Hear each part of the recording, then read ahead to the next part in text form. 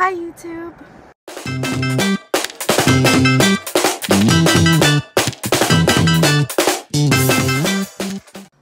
If I could help one single person with this video, I will be happy. So here's to the closeted one. Whether it's your sexuality or gender, it doesn't really matter. It's kind of the same forte in your mind. I remember being so, so ashamed of myself for a really long time. Around the same time, I became aware of what my sexuality was. It was the same time I heard my first ever LGBT slurs to myself and to my friends and to people I cared about. This taught me that people don't like us, don't like the LGBT community, and that scared the crap out of me. Seventh grade was probably the worst year of my life. I forced myself into relationships that I didn't actually want to be in because I thought that someone, that like anyone could take away the feelings that I didn't want to be, the feelings that I didn't want to feel. And no matter how many people I piled on myself, forcing myself to be with, they didn't help. They actually made it worse. My girl crushes became stronger and disgust levels became higher upon myself and upon the people that were great to me, that were trying their best to be in a relationship with me, but I just couldn't, I couldn't. I wasn't ready to be in a relationship with anyone, and I wasn't even ready to be in a relationship with myself and my own sexuality and who I was. I wasn't ready for anything. And I kept forcing myself to be someone who I wasn't, and it was all in the name of the closet. For the closeted kid, I understand what that feels like. And it does get better if you let it. You are better than what you force yourself to be. You are more than the reflection that is shown to you in the mirror.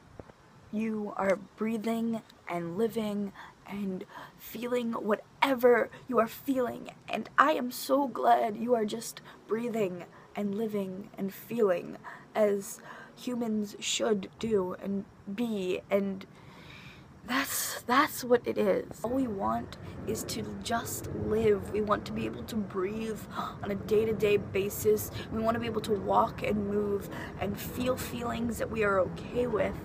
That is what life should be. It's not just for the LGBT community. It's not just for any community. It's for all of us. All we all want is just to generally function in a society that is okay with whoever we are. to myself as a seventh grader, I can tell you that you get to grow up and you don't end there. You are a long living story that is not what you thought it would be. You get to tell your parents. You get to tell your friends. You get to tell anyone and everyone that you want to tell. And guess what? You get to tell the internet. You get to tell the internet on one of your third videos that I am openly bisexual and I am perfectly okay with it and I don't care whatever your opinions are on it. That's who you are now. That's who I am and I love that. I love that I can say I'm bisexual. Just like that. And nothing happens. I don't freak out inside anymore.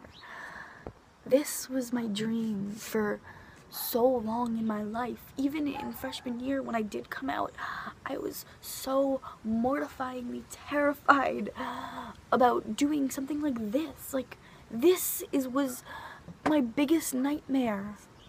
And no, I'm not completely grown up and I don't have all the magical answers of the universe. I am just me who is living them with whoever is watching this day to day. I am just, I am more than my bisexualism. Is that a word? You are more than whatever sexuality and gender you define yourself as. And once you get to accept that as who you are, you can build yourself and be whoever you want to be. And that's why I want to help you. I want you to accept it. This way, you can move on and build yourself into whatever you want to be. But also be careful. If it's not safe for you to come out as whatever you may be, but if it's not safe, if you can get physical or mentally hurt, or you could get kicked out of your home, or if anything bad could happen to you, then just hold on in the closet for a little longer. I was lucky enough to not have that situation, that I was able to come out with the confidence of knowing that even if my parents don't accept me, they will still deal with me and love me. If it is not safe for you to come out, please don't, okay? It's better to have one more closeted person than another LGBT homeless kid. And I know that's horrible to say, but it, it's true. It's better to have a closeted person than another LGBT homeless person. I just wanted to say that I love you and I accept you. And when I say I love you, it means I care about your humanity. I care about if you are breathing and living and eating and being able to survive in this community, in any community that you are in. That means I love you. So I do. Stay safe, stay strong, and stay happy. That's it.